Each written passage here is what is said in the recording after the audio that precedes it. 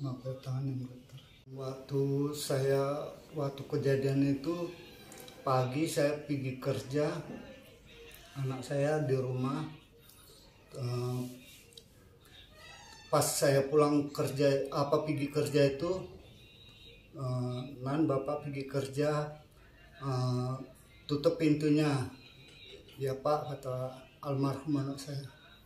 Udah gitu kerja jam 12 saya pulang ke rumah. Saya ketuk-ketuk pintu eh, terus dibuka sama anak saya. Eh, jam 12 itu makan bareng kami bertiga. Udah jam 1 jam satu kurang kami berangkat kerja.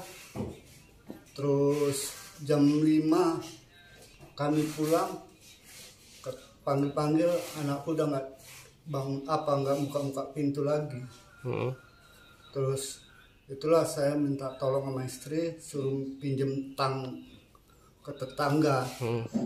udah pinjem tang ke tetangga buka eh, itu kaca aku. Cuman pas dimasukkan gitu tangan nggak nyampe juga. Cuman entah macam mana perasaan kok kayak suruh buka megang handle itu Eh, buka handle itu terbuka lah udah nggak terkunci lagi Nah saat itu bapak temukan anak bapak dalam keadaan meninggal dunia itu di mana posisinya pak? di tempat tidur dia udah telungkup kepalanya miring begini Ada luka di bagian mana saja pak? di sininya aja leher Itu luka seperti apa pak? mungkin ditekan pakai broti Eh, selain anak bapak yang ditemukan meninggal, ada nggak barang-barang yang hilang pak? Nah, HP 2 sama uang 600 Itu kapan kejadiannya pak? tanggal 1 bulan 10 Tahun? tahun 2000 Tahun 2020. iya. Nah pak, eh, setelah udah satu tahun ini pak, bagaimana perkembangan kasusnya pak? belum ada Jadi pelaku pun belum ditangkap hingga kini pak. belum Pihak kepolisian apa sudah ada menghubungi eh, keluarga terkait perkembangannya?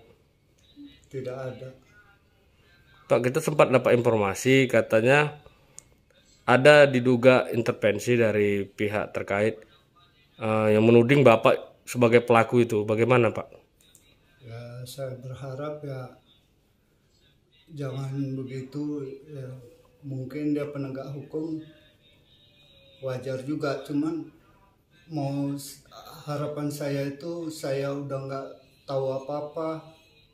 Anak saya udah kehilangan anak. Janganlah seperti itu. Jadi bapak dituduh juga sebagai pelaku membunuh anak bapak sendiri. iya. Cuman saya berharap ya polisi eh, cepatlah bekerja untuk mencarikan keadilan untuk almarhum anak saya Itu anak keberapa sih pak?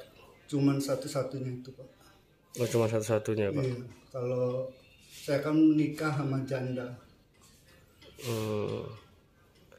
Jadi memang sejauh ini tidak ada perkembangan ya pak. tidak ada Sudah meminta bantuan ke mana saja pak?